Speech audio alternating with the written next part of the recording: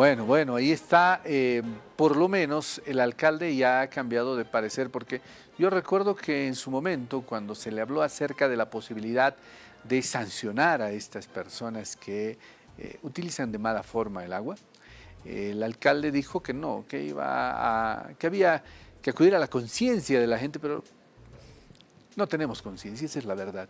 No tenemos conciencia, derrochamos el agua, Claro que hay gente que sí, sí entiende la importancia del agua, pero hay otras personas que, no la entienden. Estamos acompañados de Karina Ordóñez, directora de la APS. Eh, vamos a hablar justamente de este incremento a las tarifas por el consumo excesivo del agua. Karina, ¿cómo está? Buenos días, gracias por estar en el sistema LTP.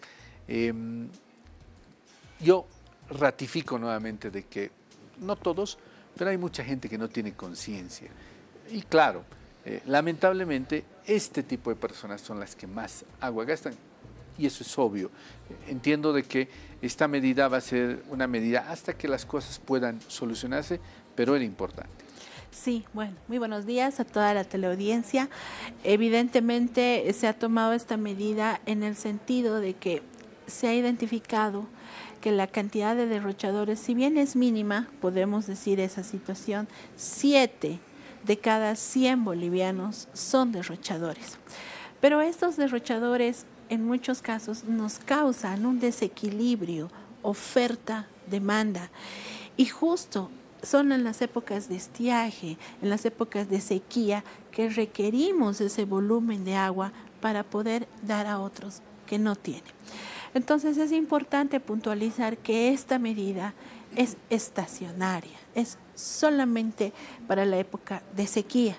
Por ejemplo, en este momento, acá en la ciudad de La Paz, ya hemos mejorado, ya hemos pasado la peor época ya, ya, estamos pensando en lo que va a ser el 2024.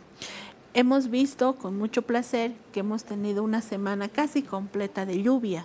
Sin embargo, nuestros embalses están empezando a recuperar. No sabemos, no tenemos la certeza de que estos se vayan a llenar incluso. Entonces tenemos que prever que esa agua que llenemos hasta febrero tiene que alcanzarnos hasta la siguiente gestión. Entonces no podemos vivir en zozobra.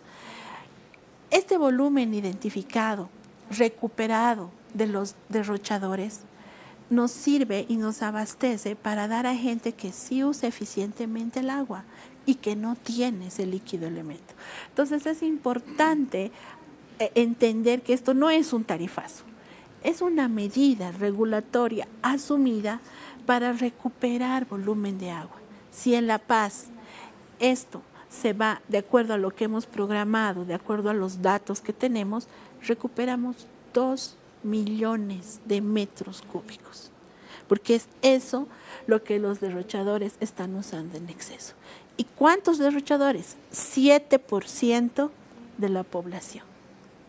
¿No? Entonces, es importante tomar en cuenta estos datos. Por ejemplo, en la ciudad del Alto y los alrededores, el consumo está por debajo de 15 metros cúbicos. Esta medida no les va a afectar. Entonces, esta medida va a afectar a los que realmente superan 200, 300 y hasta 400% de estos 20 metros cúbicos mencionados. Ahora, Karina, obviamente no es un tarifazo, porque un tarifazo tendría que ser a toda la gente. Aquí solamente va el, va el incremento a las personas que exageren en el uso del agua.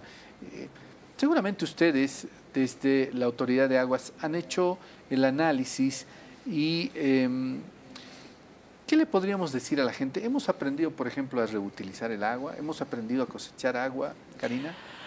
Lastimosamente hemos hecho algunas evaluaciones a nivel nacional. Este porcentaje de derrochadores a nivel nacional está entre el 7 y el 10%. Sin embargo, también hemos visto que se pueden asumir otras medidas. Hemos identificado, por ejemplo, en las plazas, ¿es necesario que haya agua potable? En los edificios, en las áreas comunes, existen medidores registrados como áreas comunes, pero ¿para qué se usa esa agua? Para limpieza, para lavado.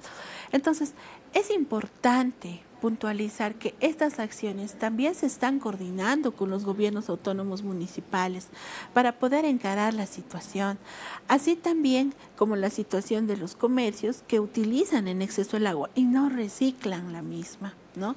Entonces, esta es una medida que nos va a permitir, no es un impacto económico para, la entidad operadora, es un impacto que nos va, a nos va a permitir recuperar agua para dar a los que no tienen. En la ciudad de La Paz, solamente en la ciudad de La Paz, tenemos La Paz y sus alrededores, estoy hablando de EPSAS, tenemos 430 mil usuarios. De los 430 mil, solo 43 mil son derrochadores. Ustedes dirán, bueno, no es mucho, ¿no? Sin embargo, estos 43 mil, restringiéndoles el consumo vía tarifa, nos permite dar agua a 130 mil usuarios que utilizan eficientemente el agua. ¿Qué quiere decir? Con consumos de 15, 16, 17 metros cúbicos. Entonces, es importante que entendamos la medida que se está asumiendo. Es importante que tomemos conciencia. Hemos hecho durante toda la gestión campañas de concientización que le han costado mucho dinero al operador pero que no hemos disminuido un metro cúbico de agua. Lo que define el consumo en todas las ciudades es el clima.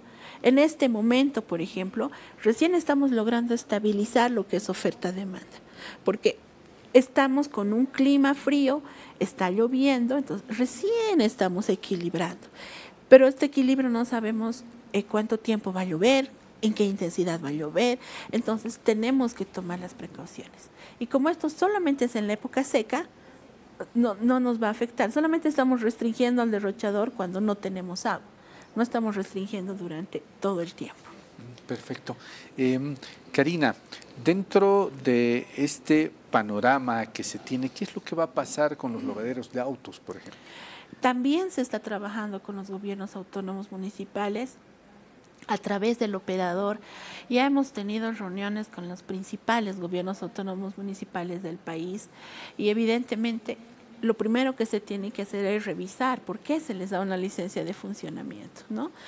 Y también un poco eh, restringir los requisitos ¿no? para poder cuidar no solamente el agua, la cantidad de agua que está consumiendo, sino el tipo de descarga que tienen estos lavaderos, cómo nos devuelven el agua que están utilizando. Veo con buenos ojos que ya los gobiernos autónomos municipales ante esta medida se están reuniendo con el operador para tomar otro tipo de acciones también que van a acompañar a esta acción. No es que con esta acción ya hemos solucionado el tema, no, hay que tomar acciones por parte del gobierno autónomo municipal, por parte del gobierno autónomo departamental, que es su competencia la protección de fuentes. Se están trabajando tres leyes departamentales a nivel nacional. Entonces, estamos ordenando lo que es la gestión del agua. ¿Cómo se tiene que dar cuenta eh, cualquier ciudadano eh, si está derrochando agua? ¿Cuál es el parámetro? Tenemos nosotros un parámetro bastante amplio que hemos determinado que es 20 metros cúbicos al mes por familia, ¿no?